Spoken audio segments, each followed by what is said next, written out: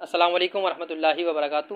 اس وقت میرے ہاتھ میں آپ جو یہ پھول دکھ رہے ہیں، یہ جڑی بوٹی، اسے مریم کے پھول کہا جاتا ہے۔ اور خواتین میں اور معاشرے میں یہ بات صرف پاکستان میں نہیں، بلکہ پاکستان کے باہر بھی یہ بات بہت زیادہ مشہور ہے کہ ڈلیوری کے وقت جب بچے کی پیدائش ہو رہی ہو نارملی، تو اس وقت میں اس پھول کو اگر اس گھر کے اندر پانی میں بھگو دیا جائے، پانی میں ڈال دیا جائے، ڈبو دیا جائے، اور یہ پھول جس طریقے سے پھولتا رہے گا، ہلکے ہلکے کھلتا رہے گا، جب اس پھول کو آپ یہ بوٹی آپ میرے ہاتھ میں دیکھ رہے ہوں گے اس بوٹی کو جب آپ پانی میں ڈالیں گے تو آہستہ آہستہ کھلے گی۔ جب یہ بوٹی کھلتی رہے گی تو اس خاتون کو جو ڈلیوری کے وقت پین ہوتا ہے، جو تکلیف ہوتی ہے، وہ آہستہ آہستہ کم ہوتی رہے گی۔ اسے مریم کے پھول کیوں کہا جاتا ہے اور اس کی ہسٹری کیا ہے؟ تو بہت زیادہ ریسرچ کرنے کے بعد ایک مختصر سی بات ہی مجھے پتہ چلی ہے، کیونکہ کتابوں میں بھی اس کا کوئی بہت خاص تذکرہ موجود نہیں ہے۔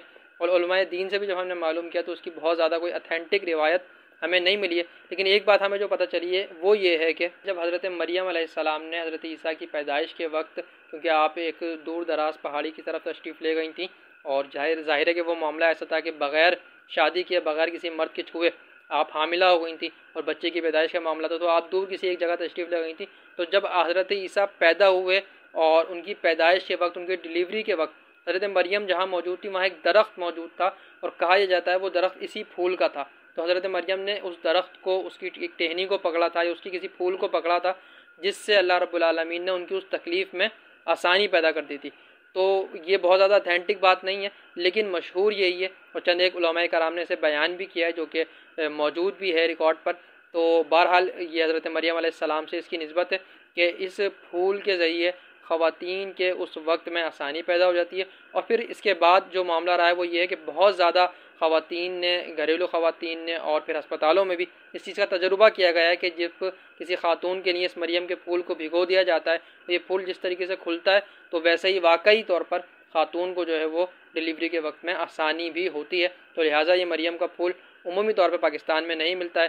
سعودی عرب سے یا مختلف دیگر کسی ملکوں سے اس پھول کو حاصل کیا جاتا ہے۔ یا پاکستان میں بھی کہیں ملتا ہے تو مخصوص جگہوں پر ملتا ہے۔ اور بوقت ڈلیوری خواتین اسے بہت زیادہ سنبھال کے رکھتی ہیں۔ یہ ایک ہی پھول کئی دفعہ بھی استعمال کیا جا سکتا ہے۔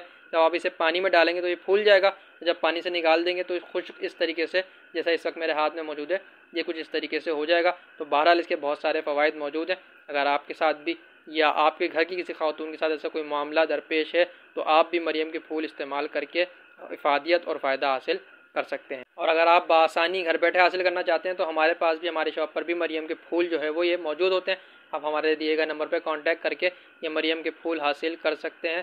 تاکہ کسی بھی قسم کی ایسے کوئی معاملات ہوں، آنے والے وقتوں میں آپ کے گھر میں، آپ کے آس پاس کسی کی بھی خاتون کا ایسا کوئی معاملہ ہو تو انہیں آسانی پیدا ہو سکے، دوسروں کی زندگی میں آسانیاں پیدا کریں گے تو انشاءاللہ اللہ کریم آپ کی زندگی میں بھی آسانیاں پیدا کر دے گا۔ اس ویڈیو کو دیکھنے کا بہت شکریہ، کیونکہ ایک معلوماتی ویڈیو تھی تو اپنے دوستوں کے ساتھ بھی ضرور شیئر کر دیجیے گا اور ہمارے چینل کو سبسکرائب بھی کر لیجیے گا۔ بہت شکریہ۔